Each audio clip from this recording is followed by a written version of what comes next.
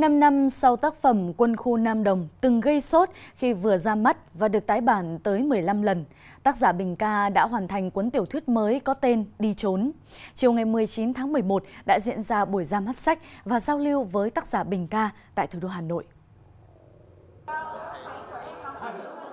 Lấy bối cảnh vào khoảng năm 1965-1966, khi Mỹ mở rộng chiến tranh phá hoại ra miền Bắc, cuốn sách kể về cuộc phiêu lưu của một nhóm năm bạn nhỏ, con em cán bộ, thậm chí là cán bộ cấp cao, giữa chốn núi non hang động và sông nước hoang sơ hung hiểm. Trong hành trình ấy, lũ trẻ dần trưởng thành lên, không chỉ tìm lối ra cho cuộc đi trốn, chúng cũng phải đi tìm lối ra cho cuộc đời mình trong một thời đoạn vô cùng nghiệt ngã của đất nước vốn sống giàu trải nghiệm, lối văn tự nhiên, tiết chế, không hoa lá cảnh, tốc độ vừa phải, chắc chắn, Bình Ca đã dựng ra được cả một không khí riêng cho cuốn tiểu thuyết với màu sắc lịch sử sắc nét, không gian địa lý chân thực và một thế giới trẻ thơ sống động.